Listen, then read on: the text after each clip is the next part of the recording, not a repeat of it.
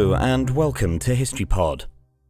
On the 24th of November 1859, English naturalist and geologist Charles Darwin published On the Origin of Species, the book that is considered by many to be the foundation of evolutionary biology.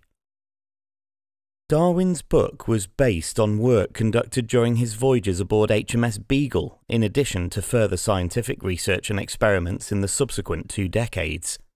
The book presented evidence for the process of natural selection, and its publication sparked a seismic shift in the study of science. Although Darwin was not the first to propose evolution, his book was the first to present the idea outside the scientific community.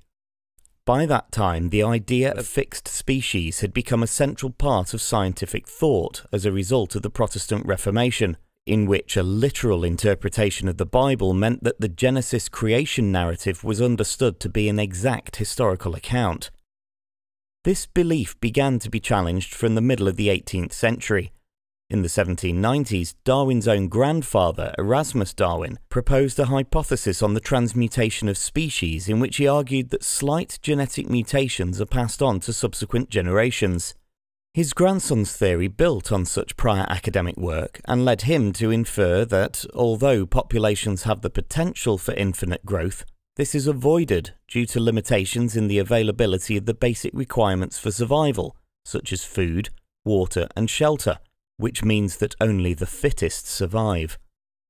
Although Darwin's book barely hinted at the issue of human evolution, it was, and continues to be, controversial. Despite this, Darwin's theory of evolution by natural selection now forms the core of modern life sciences.